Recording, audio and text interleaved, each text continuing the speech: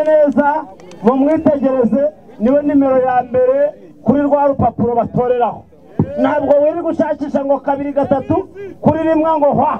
Ugahita aho! Nguyu rero ijambo ni iryanyu nyabugogo oye! Nyarugenge oye! Repubulika y'u rwanda oye! Turishimye cyane kuba turi kumwe namwe uyu munsi. Nk'uko twabibasezeranyije twari tumaze iminsi ducana nyabugogo tumanuka mu ntara tujya mu majyaruguru mu majyepfo ndetse no mu burasirazuba. Ariko buri gihe cyose ab'inyabugogo bahoraga batubaza ati se twebwe muzadusura ryari? Barabizirikanye kandi uyu munsi turabyubahirije. Kandi turabashimira namwe kuba mwashoboye kwitabira ubutumire bwacu. Uyu munsi nabanza no gushimira ni umunsi wa cumi n'icyenda tuzenguruka igihugu. Aka niko karere ka mirongo itatu tugiye kurangirizamo. Turabanza gushimira abatundiriye umutekano mu gihugu cyose polisi y'u rwanda n'abifatanya nabo bose baraturinze hose aho twagiye. Polisi yacu twayishimiye n'abikorana nabo bose ko baratundiye umutekano. Tugashimira n'itangazamakuru ryaraduherekeje ndetse n'irya leta ryaraduherekeje hose ari nyamasheke ari rusizi ari kirehe na nyagatare batuhereje mu irimbi naho arabi ari kumwe natwe Oh! arabi ari kumwe natwe turabashimira cyane Eh? na kirehe aho baweje abana kudukubita amabuye arabi ari kumwe natwe urumva ko tutayishimiye twaba dukoze nabi cyane turashimira itangazamakuru ryose iryigenga n'irya leta kuba baraduherekeje inzira yose twagiyemo tukaba twaragarutse mu mujyi wa kigali amahoro. Twongera gushimira n'abarwanashyaka bose ikipe ya kampanye na yo yabanye natwe muri iyi nzira yose tugarukanye kigali amahoro. Ariko hari ikindi tutatibagirwa kwishimira. N'imana yaremye isi n'ijuru na yo turayishimira ko yaturinze tukaba tugarutse hano amahoro. Njyewe nemera imana. Ntabwo ni umupagani Eh, yes. So urumva twese turashima ni cyo cya mbere. Ariko kandi n'ikindi cyadushimisha ni uko tuje hano namwe tuje kubasangiza ku bisubizo dufitiye abanyarwanda. Ariko cyane ibareba hano muri nyarugenge muri nyabugogo mu mujyi wa kigali. Mu bisubizo dufite turabanziriza ku kijyanye n'imibereho myiza n'ubukungu. Kubera ko umuntu wese ufite amaboko akeneye gukora akeneye umurimo. Kandi tuzi yuko abanyabubasha batubujije gukora akantu kose umuntu agerageje gukora bagafunga cyangwa bakamwirukankana ugasanga abuze ko na ruguru akaba n'icyo agaburira umwana. Ibyo biratubabaza cyane rimwe na rimwe twabuze ubuvugizi ariko ubu twarabubonye uruvugiro tugomba kubivuga tugomba kubikemura bose bikarangira burundu. Umunyarwanda agomba kubaha uburenganzira bwiwe kugira niba ashatse gukora akarimo kiwe ntihagire umuntu umutambamira. Ari roko defense ari daso ntimwirukankaneho kuko twese dukeneye gukora ntabwo ukeneye gusabiriza nta muntu ukenera gusabiriza. Ariko iyo umuntu muje gukora akantu kiwe uwo muri mukumweza mu buju kumwohereza mu gusabiriza. Warangiza ugafata ngo uragiye kumujugunya iriya guguru kwa kabuga. Kwa kabuga ho bose ntabwo twemera gufunga abantu muri za gereza zitemewe n'amategeko. Ziriya gereza no kwa kabuga n'ahandi hose twaciye mu ruhango n'ahandi za nyanza aho ziri hose mbese niba urera twari turi ejo twayimenye ko iri ahantu bita kirambo izo zose tuzazifunga mu kwezi kwa cyenda.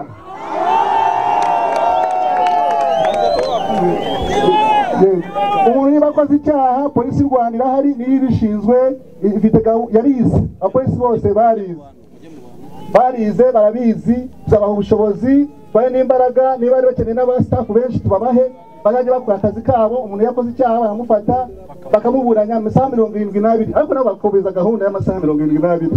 Eh, nawe kumarayo iminsi itatu ine Eh, bakayubahiriza umuntu niba ajya muri parike niba ari umwere atahe. Niba agize icyaha ahanwe. Ariko atari ukurenganya abantu. Gahunda yacu ni ukurenganura abarengana. Ubu ni niwo butabera busesuye twifuza umunyarwanda wese. Atari ubutabera bwo mu mpapuro ariko ubutabera bwo mu bikorwa.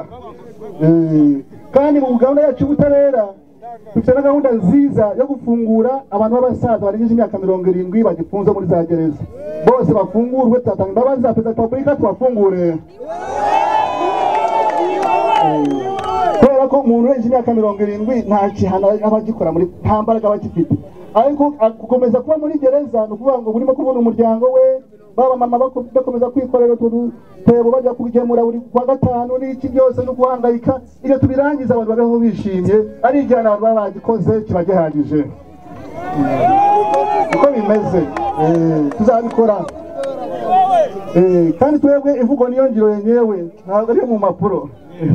Eh, ikindi tuzi yuko hari n'abantu benshi mu butabera baba bavuga ati bafungiwe ubusa ati ba- bafite ibibazo bya politike bararengana gahunda dufite nuko tuzashyiraho urukiko sipesiyare urukiko rudasanzwe tuzasubizamo izo manza z'abantu bavuga ko barengana rubyigeho urebe niba barengana barenganurwe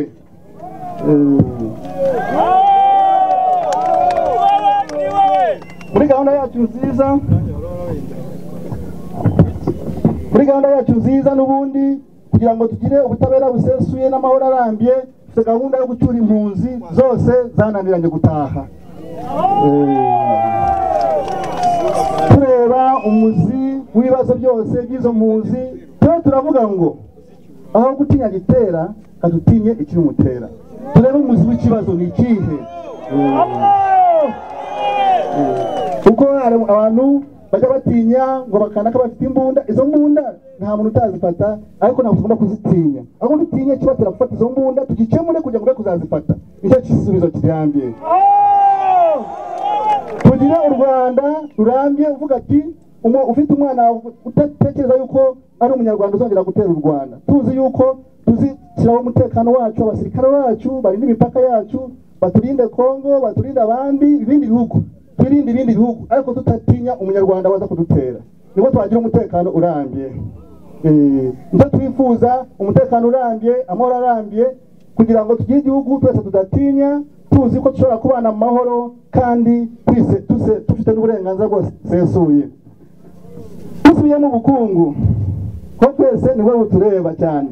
Cyane cyane hano nyabugogo ko ari umujyi ni muri santere y'umujyi wa kigali.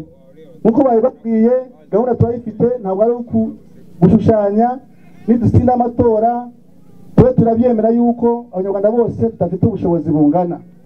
Twemera yuko buri munyarwanda wese akeneye kubaho kandi akeneye kugira n'ikintu akora. Kubera iyo mpamvu gahunda abakire bafashe yo gukuraho cyaguwa ntabwo tuyemera cyaguwa tuzabigarura mu rwanda.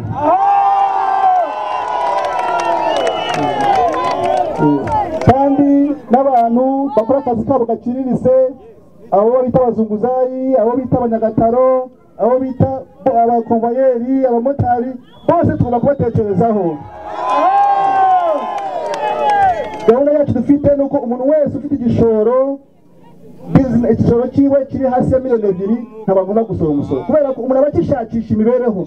Umuntu aba afite ibihumbi ijana ukaza kumusoresha agasigarana icumi agasubira ku isuka turavuga ati ahubwo dusoresha uwo muntu ukatumutera imbaraga niba ntareza miliyoni ebyiri tuzatangiye kumusoresha. Ubwo azaba atangiye kuba umukire. Ariko niba akiri hasi agishakisha ubuzima tumureke azamuke. Ari na gahunda tujya tubona mu cya ndagira ngo na hano birahari. Abantu bazana igitoki cyagera ku isoko bakagisoresha. Kitarinjira no mu isoko. Umuntu yazana inkoko cyangwa ihene itaragira no mu isoko akayisoresha. Izo gahunda tuzazikuraho. Nagusoresha ibintu bivuye mu mirima yacu. Gahunda yacu ni ukugira ngo buri munyarwanda wese azamuke. Tureba tutangirira hasi. Twese tuzamuke bya bindi tujya tumva yuko twese twaba muri cyo bita middle income buri muntu wese afite ubushobozi. Tubigereho tuvuye hasi.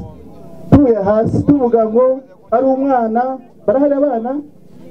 Abana biga pirimeri murahari? Eh namwe muzaza kwishima. Gahunda tubafitiye nziza. Kugira ngo namwe muve mu bukene. Kugira ngo mwe gusabiriza igitabo mama n'urukweto mama. Ni uko buri mwana wese wiga pirimeri tuzamushakira inkoko n'urukwavu. Ibibazo biba mu mujyi hano. Tuzi yuko hari abantu bajya badusenyera amazu yacu kandi twayubatse na hano hafi hari urugero muraruzi aho kabinazaye igihe igihe igihe ikihe ikihe cya demokarasi turavuga ati umuntu uko ajya kubaka afite ibyangombwa. Aba bantu baba bareba kugira ngo baze kumusenyera nyuma yaho kandi baramuhaye ibyangombwa. Rero rwose ntabwo aho! Icya kabiri bagafata gahunda yo kubakura abantu ahantu batuye ndabizi hano ruguru mu kiyovu cy'abakene abantu barabakuye vuba vuba cyane ariko wajya kusa ugasanga nta kintu kigera gihinduka nyuma y'imyaka ingahe. Amafaranga wahaye akazana amafaranga adashobora kugira icyo abamarira. Kandi abantu bari batuye byabafashaga no kubona akazi. Ukabakura ukabatwara iyo kure iyo bigwa ngo bazabeho ni nk'aho ubu bajugunye kure y'isi turavuga ati ibyo bintu byose ugomba kubyigaho neza. Niba tugiye no kwimura abaturage bimuke neza ubahe n'amafaranga afatika kugira ngo ubuzima bari barimo bwe gusubira inyuma ahubwo buzamuke. Aho kugira ngo umuntu umwimure umuhe amafaranga makeya ndetse ajye kure y'umujyi kandi ubuzima bwe bwari buri mu mujyi ntabwo ari ibintu byiza. Tugomba kubyigaho neza biba ari ibintu bisobanutse atari upfa kwimura abantu no kubaha amafaranga atafite icyo azabamarira. Mbese tuvuga ibyo by'imyubakire mbese ni- n'iby'ubutaka na byo turabivugaho ko twese umuntu uri muri kigali wese ashobora kuba afite niba adakodesha ariko afite akabanza ashobora kuba afite akabanza kiwe. Umuntu ufite akabanza wese arabizi yuko agakodesha kuri leta. Niko bimeze. Nta munyarwanda ugira ubutaka. Kandi twebwe ikitubabaza cyangwa nkanjye nivugireho nanjye. Ikimbabaza nanjye mfite gakondo aho dukomoka. Dukomoka igitarama kuri mbizi. Niho papa wanjye akomoka. Ariko ariko aho iwacu tuvuga dukomoka aho dukomoka ejo bundi naje gusanga bajya kuhashyira umudugudu. Ukavuga ati hano hantu haryamye umusaza sogokuru sogokuruza bose baryamaho ni gakondo yacu tugiye kuyibura rero ukavuga ati umunyarwanda agomba kugira uburenganzira kuri gakondo yiwe. Kubera ko gakondo ubutaka bwacu twabuhawe n'imana. Ntabwo ari leta yaduhaye ubutaka. Nzabumbesha rwose. Twabawe n'imana imana iduha ubutaka bwacu dusanga dutuye aho hantu ba- ababyeyi baradusigira ahubwo umuntu akabiri ati kodesha. Icyo tuzakora ni iki? Buri munyarwanda wese agomba kubona icyangombwa cya burundu cy'ubutaka atari icyangombwa cy'ubukode. Mbese tuzakuraho umusoro w'ubutaka mu kwezi kwa cyenda. Neza. Ibyo ni byo byiza. Gusenyera abantu amazu muri gahunda idasobanutse ibyo bigomba guhagarara. Ibintu bizajya bigwaho neza kugira ngo bikorwe neza atari ibintu byo guhubuka atari ibintu byo guhubuka usanga umuntu afashe icyemezo kitizweho neza nk'ubu natanga urugero. Abari guteranya ngo arahari muzi aho bita mu cyarabu. Mu cyarabu barabwiye abantu musenye vuba vuba na- bwangu. Ariko iyi myaka imaze kuba hafi ingahe ntacyo kirimo kuba mu cyarabu ni hari i butare mu mujyi wa butare. Ni ukuvuga ngo twifuza yuko niba gahunda ifashwe ibe yizweho neza. Leta yacu izaba ari leta yumva abaturage. Tugisha inama abaturage. Ibyo tugiye gufata ibyemezo. Ibyemezo byacu bizajya biva hasi. Ndetse nitubona n'icyemezo umuturage ntakishime tuzajya tumutega ugutwi tuvuga ati icyo avuga ni iki? Ubuyobozi bamwumve ndetse ibyo byifuzo dukosore ikosa aho riri? Aho ku muntu umubwira ati hinga uyu mwaka uyu n'uyu warangiza yavuga ati ntabwo byishimiye wamubwira hingirira yashyiraho amashaka ukaza kuyarandura. Ntabwo tuzemera abantu barandura imyaka.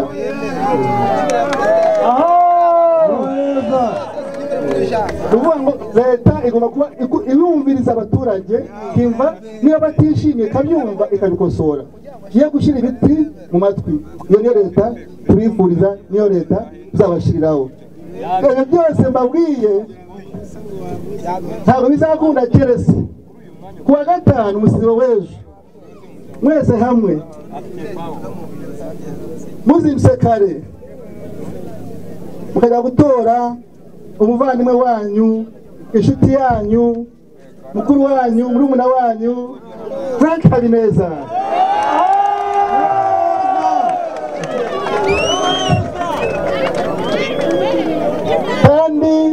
Frank habineza niwe nomero ya mbere ku rupapuro rw'itora ubwo tugomba gukomeza kuba aba mbere tugatsina twese tugatsindana twese. Siko bimeze? Sawa mugire amahoro kandi bashimiye cyane